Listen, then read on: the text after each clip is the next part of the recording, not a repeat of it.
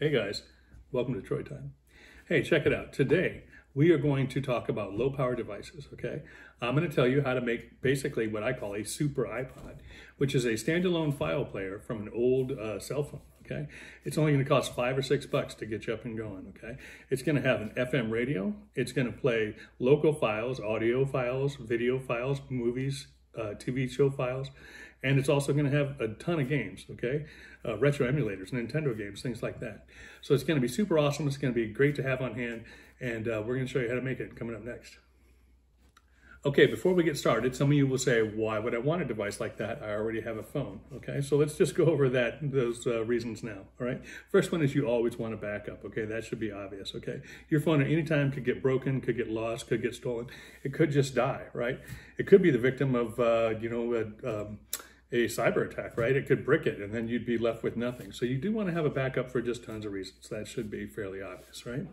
Secondly, this phone, one thing, has a local uh, FM radio. So especially for emergencies, that's awesome. So you've got your emergency radio kind of covered, right? Thirdly, this, uh, what I'm going to show you, uh, this phone is incredibly low powered, okay? Awesome, ultra low power device, all right? It's going to take one quarter of a watt when you're listening to the radio or listening to audio files, okay, MP3s. One quarter of a watt. That means a USB battery that holds 36 watts will power it for 144 hours, okay? So that that's amazing when it's playing the radio or playing music. Um, and it takes about one watt when you're playing video. So a USB battery will uh, allow it to play video or video games for about 36 hours. So it's amazing. It's incredibly low power, super efficient, okay? Probably four to five times uh, less power that this thing draws rather than than your uh, your current cell phone. So definitely a great reason to have this on hand. So tons of reasons you want that. Uh, another reason you don't want to, as you're piling media into this thing, you don't want to bog down your current phone with all kinds of data and all that. You want something separate. Uh, number two, you don't you'll be putting some older files on this thing, and you don't want all those old files on the phone where you're doing you know all your banking and all that kind of stuff. So you want it separate, just a standalone thing that's never going to connect to the net. And then lastly, you don't want to have to worry about, well, I just moved up in my operating system from whatever it was, you know, uh, uh, 11 to 12 or 12 to 13, and then I lose all these programs. So you don't want to have to lose programs as you go. You just want something that's going to be standalone, that's just going to work, that's not going to connect to the internet or anything. It's just going to be an awesome standalone device. Okay, so that's what we're going to do next. We're going to do it, and uh, those are the details coming right up. All right, guys. So today what we're going to focus on is this guy right here, okay? This is the Motorola Droid X2, okay? You're going to see that we do similar things or similar end product for other things. Like this phone here, this is a uh, Huawei Glory. It's the H868. Uh, we're going to do the similar sort of thing with this. He's slightly different in, in the way we do it. We're going to do this with uh, Fire tablets as well. All of them will have certain pros and cons, okay? Each one will have certain benefits and certain things uh, certain limitations. But for today, we're going to focus on this one, but we'll do other videos on some of those stuff. So those are going to be options as well.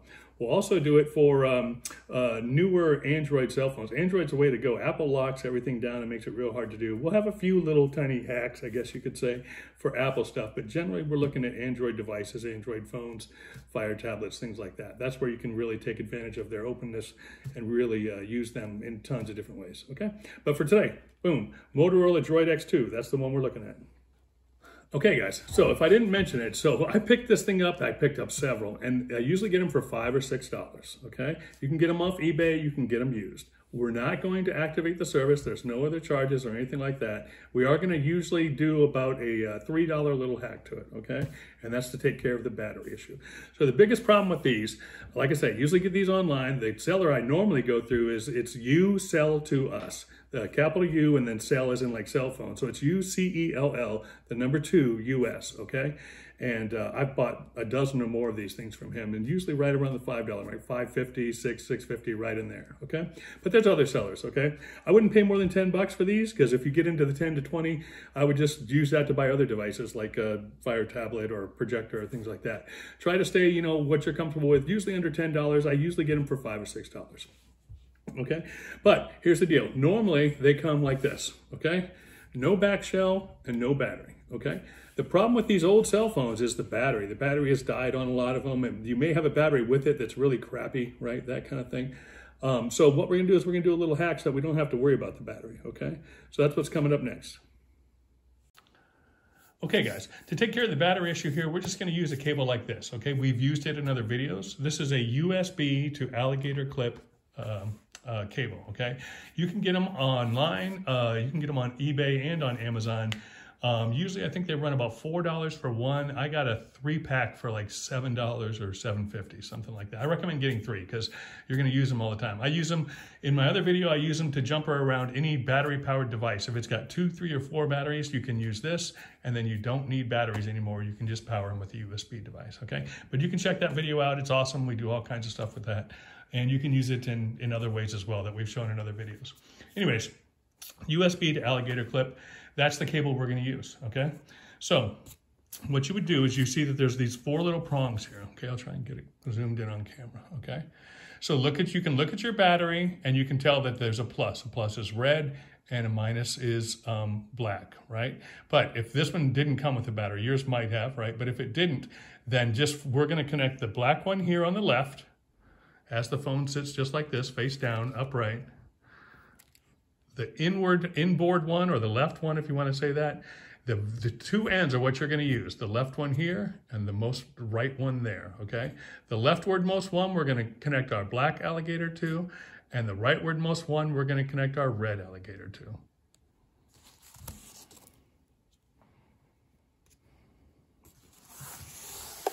For today, I'm just using this USB power supply because it's what I had down here on the table. I'm just going to turn it on, and we're going to stick the USB port right into one of these guys here.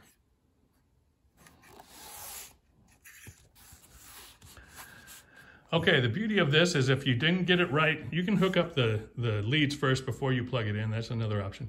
But if you don't get it right, your device will beep or whatever. No worries. If you short these together right, your device will shut off. No big deal. You've got a, uh, a reset function on every USB battery that you use. But we're going to turn this on. We're going to put this prong here on our leftwardmost one. And we're going to put this prong here on our rightwardmost one, okay? And then we're just going to flip this around. Now when we start up the phone, look at that, okay? So we have successfully jumpered uh, that battery by using this cable, okay? So it works out great. So now you've got three options, okay? You can just do this anytime you want to use it, which can be a little bit of a pain, right? Or you can fasten that cable to those prongs, okay? Now, I am a solder qualified person, right? uh, my professional skill set actually is in electronics and in improvising things in the field, okay? So uh, I could solder this, but I feel like if I go through and solder this, I could solder it and I could get it. I do have back panels for these and I could grind out the back panel and make it nice and neat and everything. But I feel like I would lose a lot of people in the DIY process because as soon as people see the solder, they'll be like, okay, I'm not doing that, right? So what I would prefer to do instead, what I would prefer to do instead is just hot glue them, okay? I know it sounds silly, but it works, right? So um, I, it's just like when I watch DIY stuff, I watch DIY stuff on different stoves and things like that, and I'm all for it. And then the guy breaks out the welder, and I'm like, oh crap. Well, I'm not going to do that DIY because I don't weld, right? So I don't want you to have that same experience. So I want to keep it simple for everyone. So I would recommend just chart, powering this thing up, and while it's actually on there, and while it's actually on, so that you know it's all connected right and everything, then I would just hot glue this nicely and you can fill this whole area with it, right? This area here between my fingers, let me zoom in closer, that's your SD card. So you need to leave that open, okay? So I will show you some pics, okay? Because I've already done this on several, several other ones. I'll show you a pic of me hot gluing it, where it's nice and ugly with the hot glue. and then I'll show you a picture, a picture of just covering up with tape, okay? This isn't uh, a beauty contest. We're not gonna pull this phone out to impress the chicks, right? This is something we're gonna be using in an emergency when power's out, when the uh, uh internet is out, and we're gonna have loads of media and entertainment available to us, okay? So I'll show you those pics. So coming up right here, I'll stick a pic where I've actually done this same thing and hot glued it down. And coming up right here, I'll show you a pic where I've actually just taped over it just for appearance reasons and to cover it. And I've left that little area open for the SD card.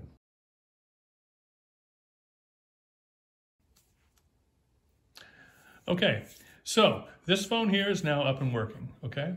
Now, your phone might not uh, come to this stage, okay? The, your phone might need a hardware reset first. It, it, might not have ever been activated, or you may just want to do a hardware reset to get rid of any of the old users' info and all that stuff on there, okay? So your phone might actually come to like a lock screen, okay? So this one doesn't have that. So what I'll do is I'll post a video, a link uh, in the description, and that'll walk through how to what's called bypass activation.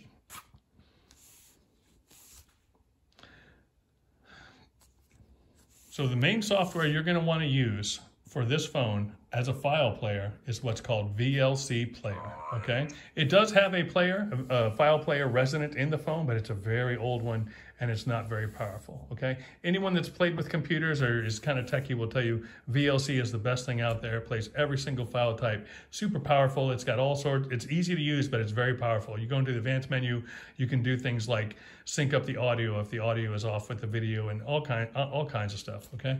I'm just talking while this is booting up. There we go. Okay, so as we get into this guy now, um, I'll show you here. VLC looks like this, okay? This is your VLC app. It looks like that with the little orange pylon, okay? Now, for an old phone like this, the version that you're gonna want of VLC is 1.73, okay? So all you have to do is just go, you, you have to sideload it, which means you have to put it on a, an SD card and or plug in a, a, USB cable to the phone. But it's most easy to put it on an SD card and then slide the SD card in there and then uh, run the executable file using the phone, okay? So um, the file that you want is VLC 1.7.3. So if you just type in like Google and you type in download um, VLC 1.7.3, it'll take you to that to that page. I'll leave a couple links uh, in the description as well. And then it'll be executable files for Android phones are .apk. Okay, it's going to be a .apk. So you just drag and drop that to an SD card and stick that SD card in here and then uh, uh, search out that file and then execute it and it will load the VLC app. Okay, VLC app super easy to use. It can automatically search your file library or you can just uh, go one file at a time and, and, play files all day long, any file types, uh, .movs, .jpeg, .mp4s, .mp3s, all kinds of .mlvs, any file type, any media file type, it's going to play it, okay? It's a, the best player out there. So I recommend you load that player in there, and uh, yeah, that's pretty much going to get you to a point where this is a standalone file player with an FM radio, okay? I'm gonna do another video soon and we'll talk about what uh, apps you wanna load to make it a awesome gaming station as well. Okay guys, so here is the uh, place, one place where you can download this uh, VLC 1.73. That is the actual address up top.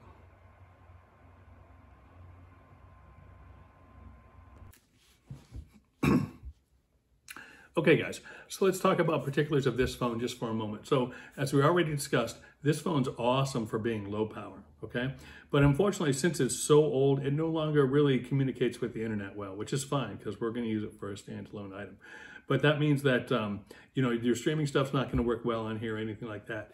Other devices that we use, like your tablets and your newest newer phones, you could do streaming stuff. But the point of this one is kind of like the internet's down. This is what you want when the internet's down, local files, right? Uh, the other thing is this, um, when you do use the radio on this, you do need to have something plugged into the uh, to the headphone port here, okay? So headphones uh, will work just fine, or you can have an actual uh, aux cable coming out to an external speaker, okay? So in order to use the radio, just for the radio, if you're playing music, you can do that over Bluetooth, right? But the radio needs to use that. It uses that for an antenna, okay? So bear that in mind. Um, when it comes to the actual files themselves, okay? So lots of different things you can do, okay? If you have an old collection, uh, like I do, you know, of DVDs and that kind of thing, um, there are files that can burn off your DVDs into, into they, it's called encoding. You can encode your uh, DVDs digitally, right? Or even VHS for that matter. Um, and uh, uh, those things, if you do do that, if you do decide to do that for to build your library, um, I recommend doing a very, very small uh, resolution, like 240 to 320. That's like a tiny, tiny, because it's going to be on a very small screen. So you, you don't need these huge one gigabyte file sizes. Uh, like a half hour show should be like maybe 30 to 50 uh, megabytes. Okay. So very, very small files, very, very small video resolution because you're going to be playing them on a phone. So you don't need the huge ones, right? Um, so if you're encoding, you're looking for the smaller resolutions. At max, 640 to uh, uh, 480, but that's overkill. That's way overkill. 320, 240 should work fine if you're doing the encoding. Um, more than likely, though, you'll probably just download files off the uh, the internet. Um, yeah, a lot of people are going to choose to go online and download stuff. Um, yeah, I can't walk you through that uh, for different reasons. One, because the sites are always changing, you know, who's got what and where, and if it works. And two, because there's different legal things that, uh, you know, I can't address for everyone. So, so I'm not even going to attempt to do that.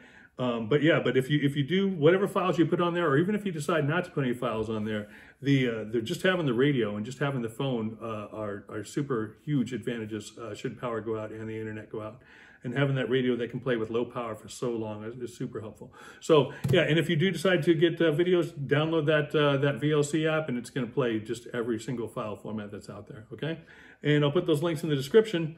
Uh, we're going to do this in very amounts of details for other devices as well, because other devices can do more things, uh, interface with um, Bluetooth controllers and lots of different things, right? So, but there's more to come. Uh, next video, we're going to talk about how to load retro emulators on that phone and on this phone, and they're going to work out awesome, okay? We're going to load basically uh, uh, DS, I'm sorry, Nintendo emulators for Nintendo, Super Nintendo, uh, Nintendo 64, and um, Game Boy, right? On this one right here. So good stuff coming up. We'll do that next video for this guy. Hopefully we'll see you there. This is Troy Time. I'm out.